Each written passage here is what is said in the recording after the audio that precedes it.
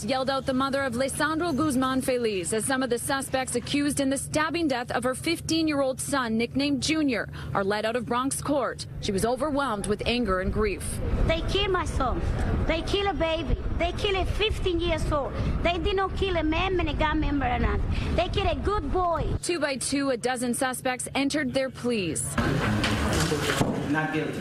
Now there are 12 accused, all pleading not guilty to charges of murder, manslaughter, conspiracy, gang assault, and weapons possession. Five of them also indicted on first degree murder, which includes torture. If convicted, they could face life sentences without parole. This was an intra gang conflict where the defendants allegedly plotted to attack an upstart set of the Trinitarios and allegedly committed a crime that has shocked people everywhere for its brutality. The NYPD says the suspects wrongly targeted Guzman Feliz at a Bronx deli.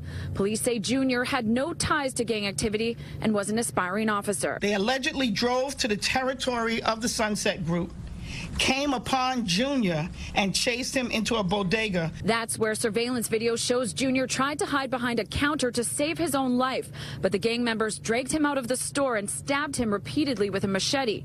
He tried to run to St. Barnabas Hospital a block away, but collapsed outside the emergency room and died. I've got to tell you, I've been a cop for almost 36 years now. It was one of the worst things I've ever seen. And I know we do justice for Junior. As the family left court, they were greeted by supporters, calling for all men involved to be put behind bars. I need all of you. I want you to come. Please don't leave me alone. Police tell us the public helped crack the case with thousands of tips, and they want people to know there's a witness protection program set up for anyone willing to testify in court. In the Grand Concourse section of the Bronx, Natalie Duddridge, CBS 2 News.